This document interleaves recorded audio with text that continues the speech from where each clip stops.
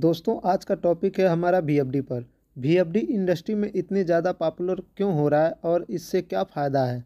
We क्यों लगाते हैं और ये वी होता क्या है? आज के इस वीडियो में हम आप लोग को कुछ ऐसे बताने वाले हैं जिससे आप लोग को भी वी के बारे में पता हो जाएगा और आपको ये भी पता हो जाएगा कि वी क्यों लगाया जाता है और इसके क्या बेनिफिट होते हैं। सबसे पहला सवाल वी क्या है? इसका जो फुल फॉर्म होता है वेरिएबल फ्रिक्वेंसी ड्राइव होता है। इसे एसी मोटर की चाल बदलने के प्रयोग में लिया जाता है। इसके फ्रिक्वेंसी को कम ज़्यादा करके इसे चलाया जा सकता है। दोस्तों, इतना समझ में आया? चलो अच्छी बात है। अब बात करते हैं VFD हमारा काम कैसे करता है।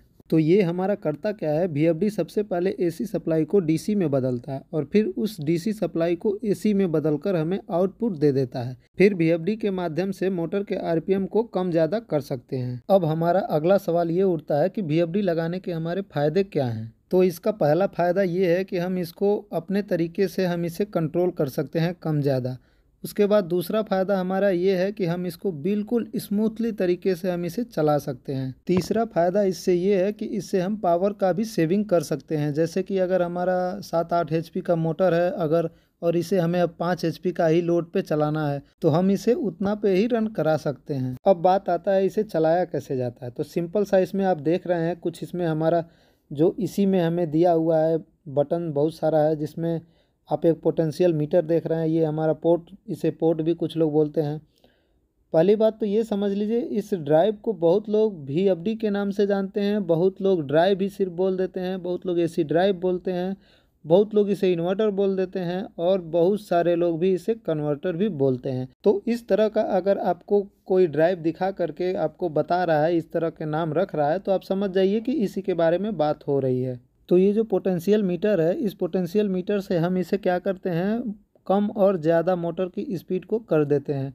उसके बाद यहाँ पे आप देख रहे हैं डिस्प्ले के जस्ट नीचे यहाँ पे एक ग्रीन कलर का हमारा बटन है तो इससे हम क्या करेंगे? इससे हम अपने ड्राइव को रन करा सकते हैं। इसी के जस्ट नीचे हमारा एक रीसेट का बटन है। इस रीसेट बटन से हम कोई भी फॉल्ट को रीसेट कर सकते हैं।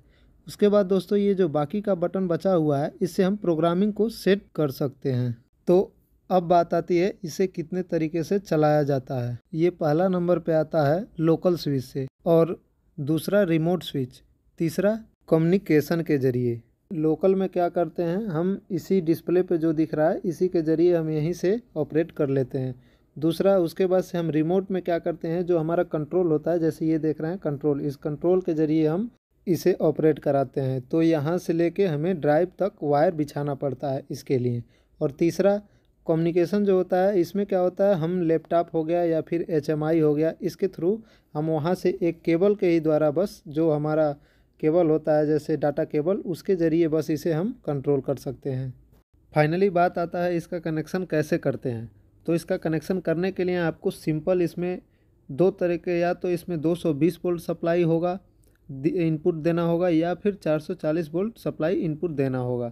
ये 220 वोल्ट इनपुट 440 वोल्ट आउटपुट, फिर उसके बाद 440 वोल्ट इनपुट 440 वोल्ट आउटपुट दोनों ही आता है दोस्तों। इसका पूरा कंट्रोल वायरिंग देखना है तो ये पाँच मिनट का एक वीडियो सजेस्ट कर रहा हूँ। इसे आप जाकर इसे क्लिक कीजिए और इसे जाकर के आप वहाँ पर देख लीजिए पूरा। पाँच मिनट के वीडियो में आपको पूरे कंप्लीट वायरिंग पता लग जाएगा।